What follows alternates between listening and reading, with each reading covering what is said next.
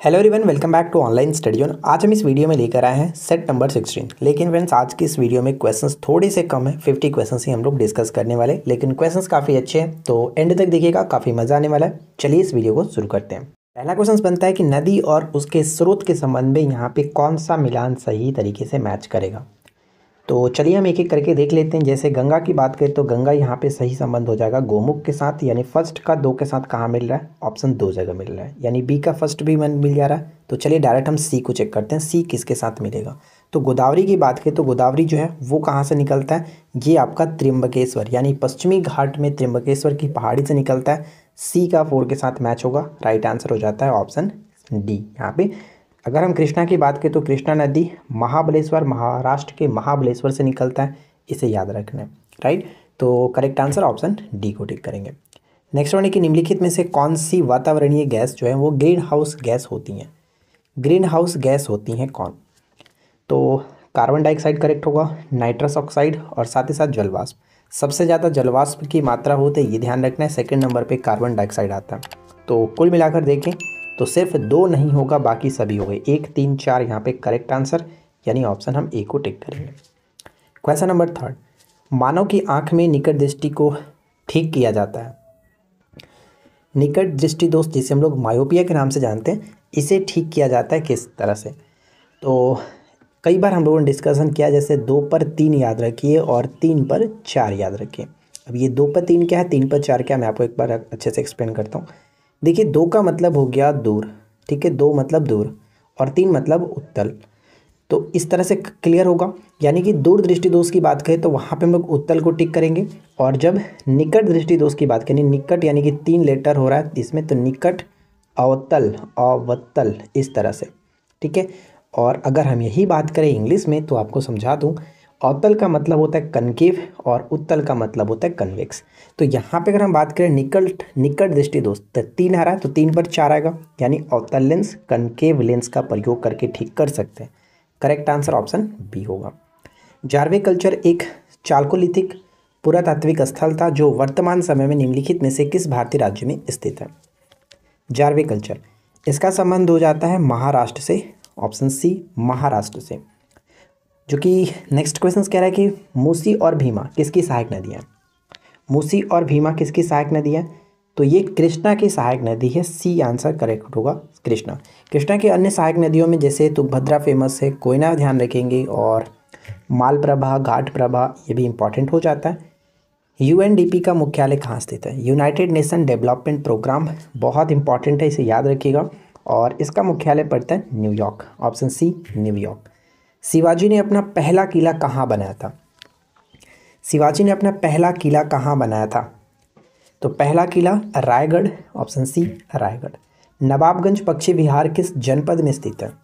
नवाबगंज पक्षी विहार किस जनपद में स्थित है? आपको जोग्राफी का पाँच घंटे का वीडियो दिया गया। अगर आप वो देख लेते हो तो जोग्राफी कंप्लीट हो जाएगा आपको अच्छे तरीके से। लूसेंट का पूरा निचोड़ उस वीडियो में आपको मिलेगा। पूरे पाँच घंटे में जोग्राफी को आप ख़त्म करिए। और फिर देखिए कितना मज़ा आएगा। तो देखिए यहाँ पे नवाबगंज पक्षी विहार की बात करें तो उनाव करेक्ट आंसर है ऑप्शन ए उनाव को टिक करेंगे।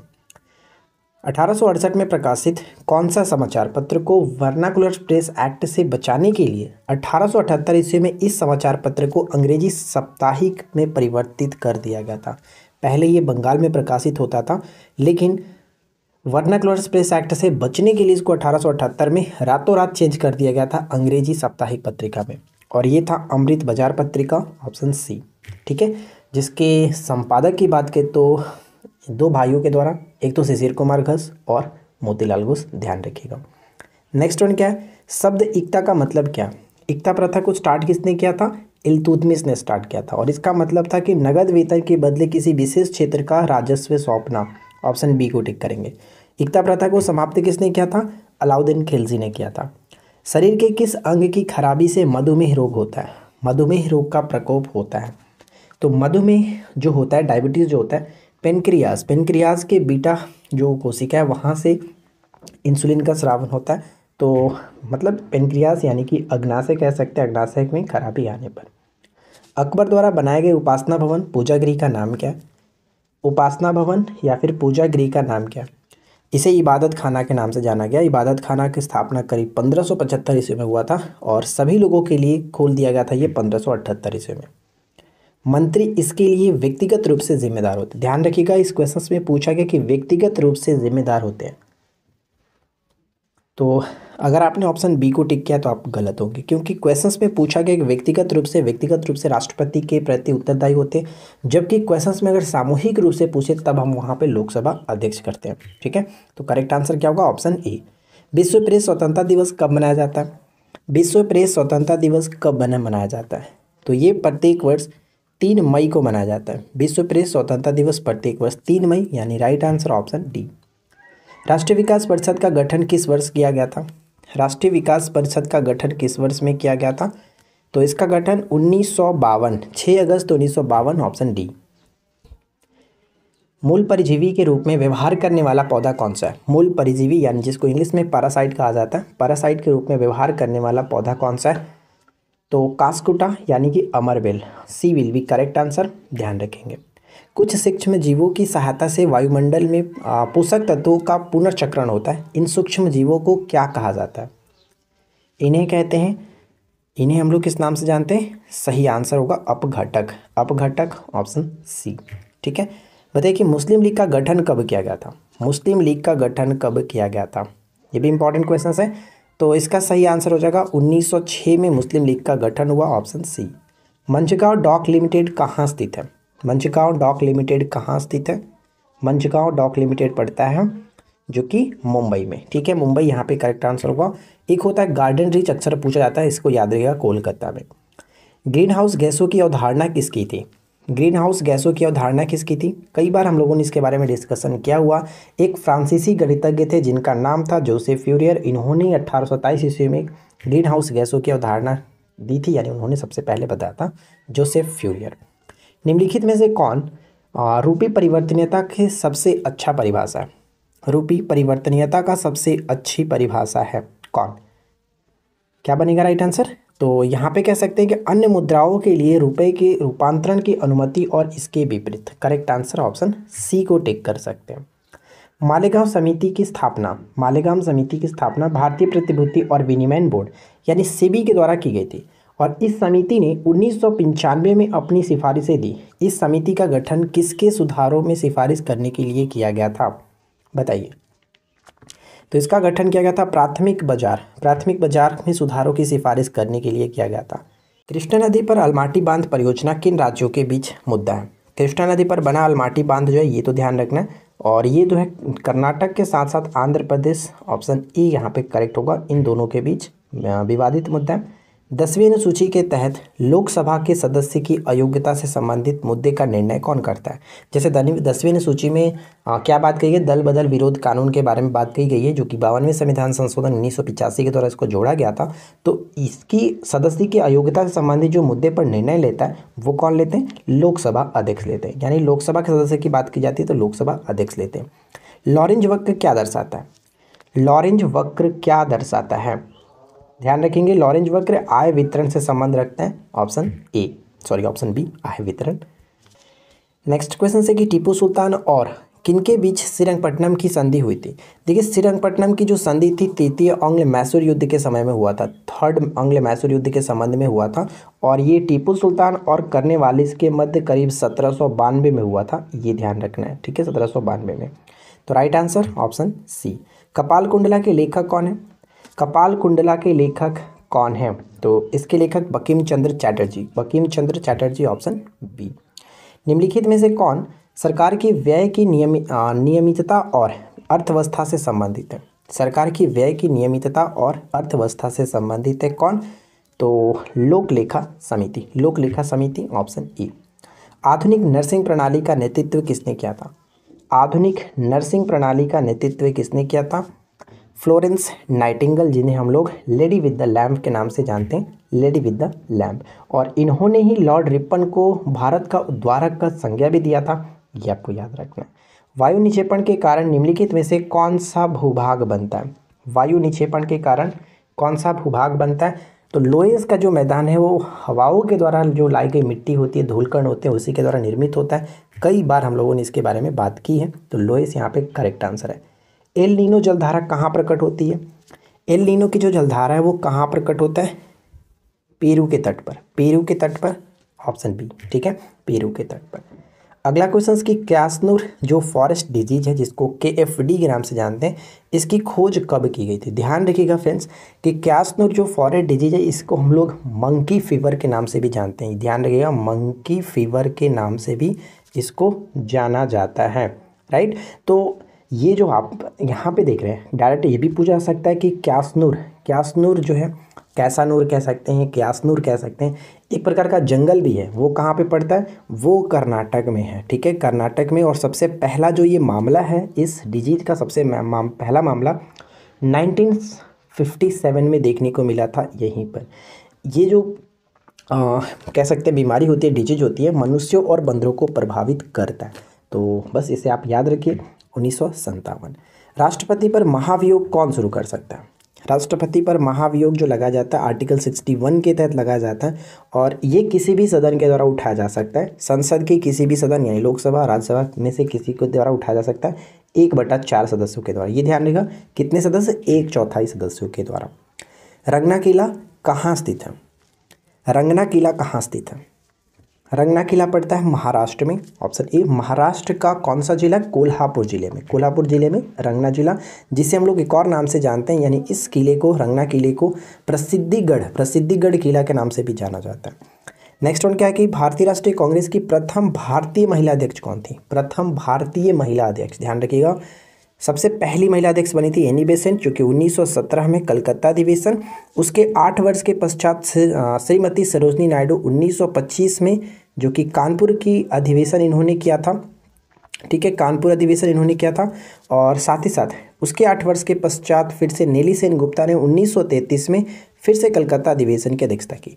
तो ये भी पूछा सकता है कि अठारह से गठन के पश्चात से लेकर के 1947 आज़ादी तक कुल कितनी महिलाओं के द्वारा भारतीय राष्ट्रीय कांग्रेस का अध्यक्ष महिला रहीं, कितने महिलाओं के द्वारा अध्यक्षता किया गया तो टोटल तीन महिलाओं के द्वारा और वही तीन महिलाओं आप यहाँ पे देख सकते हैं। तो फ़िलहाल इस प्रश्न का राइट आंसर क्या है? प्रथम, भारतीय जो महिला थी, वो थी श्रीमती सरोजनी नायडू जी ऑप्शन ए निम्नलिखित में से कौन सा हार्मोन पादप कोशिकाओं को इस प्रकार बढ़ने के लिए प्रेरित करता है, जिससे पादप की ओर मुड़ा हुआ प्रतीत होता है? तो यहाँ पे करेक्ट आंसर क्या बनेगा?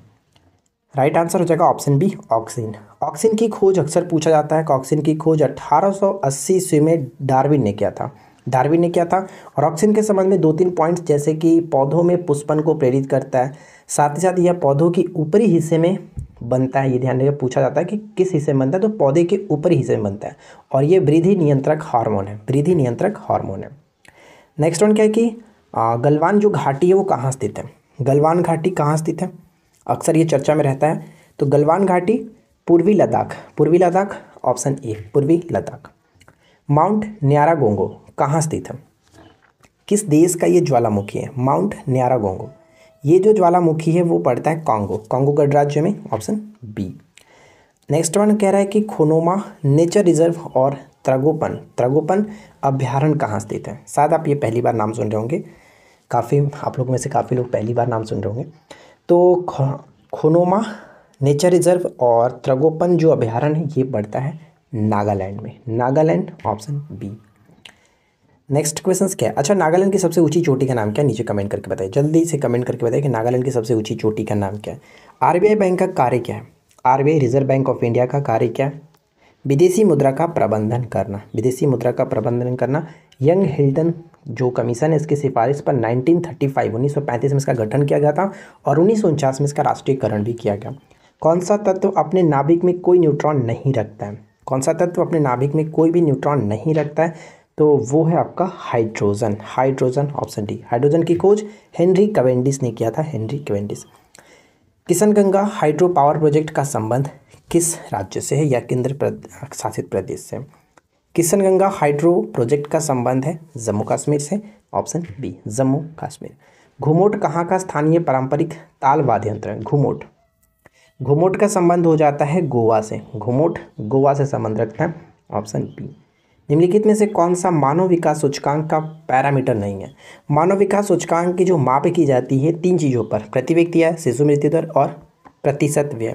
इन तीन चीज़ों पर बात की जाती है, लेकिन सामाजिक असमानता के संबंध में ये बात नहीं होता तो यहाँ पे पॉइंट गलत है। और राष्ट्रीय विकास सूचकांक 1990 में जो कि पाकिस्तानी अर्थशास्त्री महबूबुल हक और अमर्त्य सेन के ये सहयोग से जो कि बनाया गया था तो इसे आपको ध्यान रखना है। और प्रतिवर्ष किसके द्वारा ये जारी किया जाता है? तो यूएनडीपी के द्वारा ही ये जारी किया जाता है। किसने कहा कि अठारह का विद्रोह ब्रिटिश शासक को उखाड़ फेंकने के लिए भारतीय जनता की क्रांति है? भारतीय जनता की क्रांति है? काल मार्क्स ने। काल मार्क्स ऑप्शन ए बिहार में कोसी परियोजना का निर्माण का श्री गणेश कब हुआ था? बिहार में कोसी परियोजना के निर्माण का श्री गणेश कब हुआ था? तो इसका सही संबंध हो जाएगा 1954 1954 नेक्स्ट वन कह रहा है कि निम्न में से मालवेसी कुल का पौधा कौन सा मालवेसी कुल के अंतर्गत कौन कौन से पौधे आते हैं? कई बार हम लोगों ने बात किया जैसे कपास हो गया, गुड़हल हो गया, भिंडी हो गया तो यहाँ पे गुड़हल बिल्कुल करेक्ट होगा। ऑप्शन सी गुड़हल।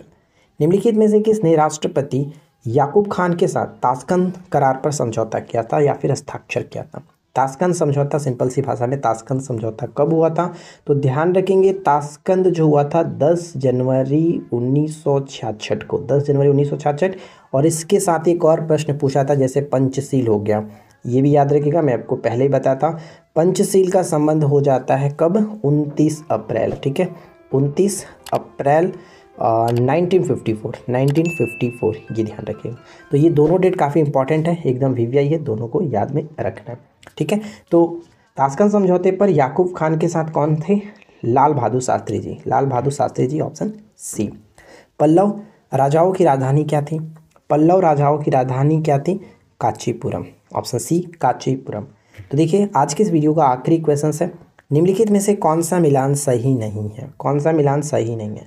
दोस्तों, आशा करते हैं कि आप लोगों को ये वीडियो पसंद आऊगा माफ़ी चाहूँगा कि आज की इस वीडियो में फिफ्टी क्वेश्चन से हमने लिया। कुछ प्रॉब्लम की वजह से मैंने क्वेश्चन ज़्यादा क्रिएट नहीं कर पाया। बट कोई नहीं नेक्स्ट वीडियो में हम लोग अस्सी क्वेश्चन के साथ ही चलेंगे और जो पहले हमारा पैटर्न था, वही पैटर्न पर हम लोग आगे बढ़ाएँगे, जिसमें हम लोग क्या है क्वेश्चंस को करंट अफेयर्स में इंक्लूड करते ही हैं तो उसमें इंक्लूड किया जाएगा और आप लोग के डिमांड के ऊपर इकोनॉमिक्स और साइंस को थोड़ा सा हम लोग क्वेश्चंस को बढ़ाते चलेंगे। तो बस बने रहिए और साथ ही साथ साइंस के लिए जो हमारे टेलीग्राम पर आपको पीडीएफ डेली दिया जाता है, जिसमें थर्टी फाइव क्वेश्चंस रहते हैं वन लाइनर फॉर्म में, आप उसको डेफिनेटली पढ़िए और कल मैंने नहीं दिया था ताकि आप पिछले एक सप्ताह के जो भी क्वेश्चन है आप उनको रिविजन्स कर सकें। आज आपको मिल जाएगा, आप हमारे टेलीग्राम से जुड़े रहिए। जुड़ने के लिए इस वीडियो के डिस्क्रिप्शन में टेलीग्राम का लिंक दिया गया, आप जुड़े रहिए। ठीक है? तो यहाँ पे कौन सही नहीं है तो सभी के सभी बिल्कुल सही है। जैसे केंद्रीय सिल्क बोर्ड उन्नीस सौ उनचास, अखिल भारतीय हथकरघा बोर्ड उन्नीस अखिल भारतीय खादी यहाँ पे कह रहा खादी एवं ग्रामोदय उद्योग जो कि 1945 1954 तो यहाँ पे कह सकते हैं कोई भी गलत नहीं है तो करेक्ट आंसर हो जाएगा ऑप्शन डी इनमें से कोई नहीं, ठीक है? तो चलिए हम मिलते हैं नेक्स्ट क्लास में। Thanks for watching keep watching keep learning have a good day